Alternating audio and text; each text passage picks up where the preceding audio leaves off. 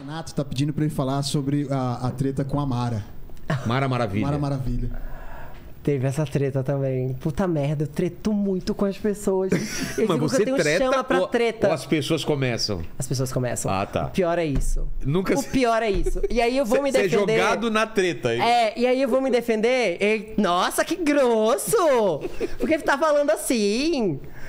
Sempre sai culpado dessas merdas. A treta da Mara. Eu preferia a Mara a Xuxa quando eu era criança. Minha É mãe dizia que mesmo? quando eu era criança eu dizia que eu ia casar com a Mara. Olha. Maravilha. E aí. Ela foi no Mulheres, uma época. Foi antes dela voltar a bombar, assim. Ela tava em baixa nessa época. Não sei o que a Mara tava lá. Eu fui, assim, correndo no camarim pra dar boas-vindas. Porque eu queria conhecer minha ídola de infância. E ela chegou toda tensa, assim, dizendo. Falaram que vocês vão me detonar, que vocês vão falar de aborto, de drogas, de não sei o que. Eu falei, não, Mara, é um programa tarde, vespertino, imagina. Fica, é pra você ficar à vontade, tal, tal, tal. Justamente nesse dia, minha mãe e minha irmã estavam aqui em São Paulo me visitando e elas estavam no estúdio.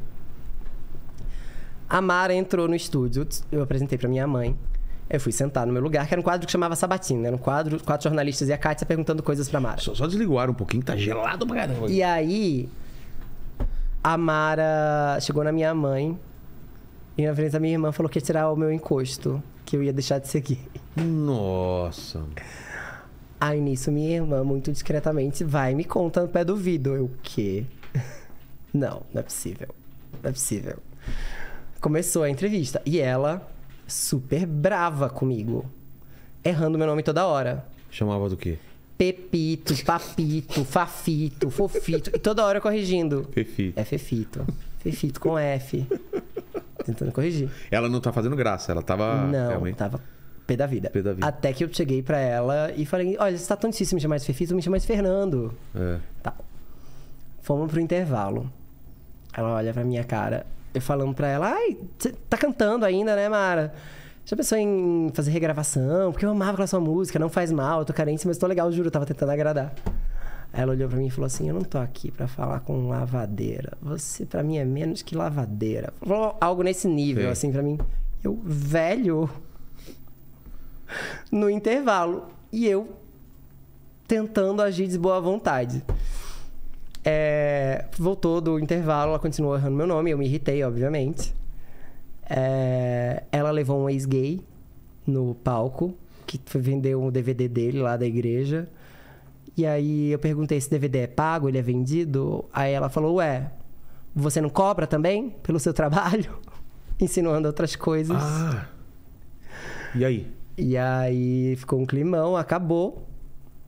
O programa ela foi embora dizendo que nunca mais pisava na emissora enquanto eu estivesse lá. Pisou depois. Mas ficou um climão Caramba, velho. Horrível entre a gente. E toda vez que a gente se encontrava, se cruzava tal. Teve o aniversário do Rodrigo Faro, que eu fui. É... O Ig ainda me chamou pra fazer um debate com a Mara, por causa dessa treta. Eu fui fazer um debate Você com a Mara. topou? O Ig era meu chefe na época. Ah, tá. Você tinha que topar, porque. Não- topar. Que debate aleatório, né? 20 minutos e é, debate sobre gays. E era na época que ela tinha falado que gay era aberração no Ah, morning tá. show da, da Rede TV. Tinha todo um contexto. Ah, é, tinha um morning show na RTV. também. Lembra? É. E aí. Eu fiz esse debate no IG e aí ela veio me abraçar e falou. Me abraçou e chegou assim no meu ouvido e falou: Você é mimado. Você é grosso. Mas eu gosto de debater com você. Aí bateu no meu peito e falou assim: Me chama mais vezes. Quem sabe a gente não vai pra fazenda juntos. Dito e feito, fui convidado pra ir pra fazenda. Com ela, Ju. e recusei.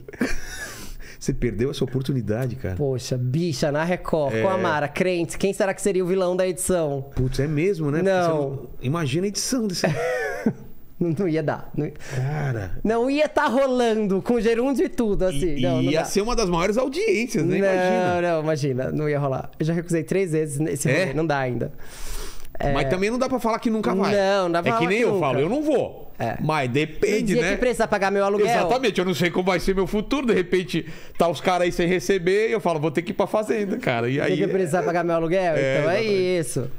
E aí. Ela me encontrou na festa do Rodrigo Faro anos depois. E ela Depois veio- dela aí ter, ter ido na fazenda Sim, já. anos Ah, tá. depois. E aí ela me pediu desculpas. Ela falou que foi muito imatura, que ela não devia ter agido assim, de- daquele jeito comigo, queria saber se eu perdoava ela.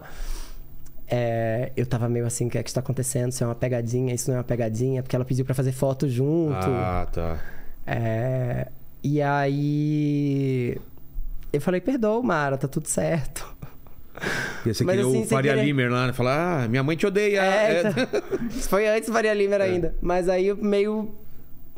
Perdoo, mas meio com o pé atrás, assim. Depois eu encontrei ela outras vezes. E aí realmente. Todas mudou. as outras vezes ela vem fazer TikTok, story, foto comigo tal, sendo fofa.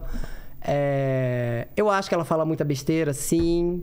É, Mas me deixou em paz. Já é um bom E, e eu acho, na verdade, que ela também, por mais besteira que ela fale, ela, ela teve o maior ato de amor que se pode ter, que é adotar uma criança. E ela tá aí realizando o sonho dela de ser mãe. É. Mais é que ela seja feliz. É, não tenho mais ranço dela, não, mas foi um ranço assim de muito, muito, muito tempo.